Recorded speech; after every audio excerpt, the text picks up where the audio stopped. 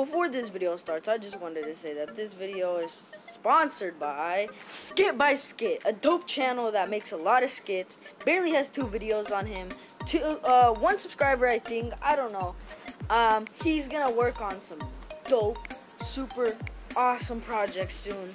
He makes a lot of types of Fortnite skits. Um, you should go check him out. He's like, he deserves more subscribers than me.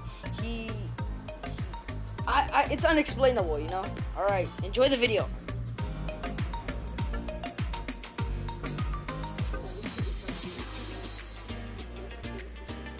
Hi. What can I get you? Um, just a coffee. Wait. Aren't you that Lexter dude kid? Yeah, why? Nah. Just asking. Well, I'm a fan. Can I just get my coffee now? Sure. Later. Guess who I saw today? Who? I said guess. Chill out, damn it. I was just going to say I saw Lexter dude in the cafe store. Really? Yup. Nice. Meanwhile in Lexter's house. Can you make me a channel? Sure. Let me just do a couple of stuff here. Okay, I'm done. Wait. I wonder what happened to Felipe.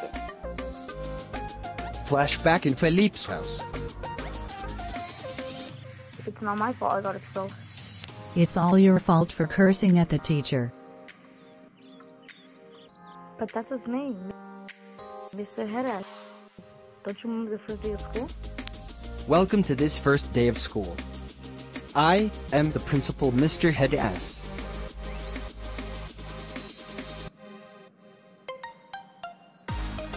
Gonna see what Felipe's up to now. Hey Felipe, what you up to? I'm just mad that I got expelled. Damn, it sucks that you got expelled. So, can you come to my house tomorrow? After school? The next day after school. So she's trying to convince the principal to take me back? Good. Hopefully the principal takes you back after what happened the other week. Meanwhile in school. I'm sorry about what happened with Felipe the other week. Is there a way you can take him back? Yes, there is.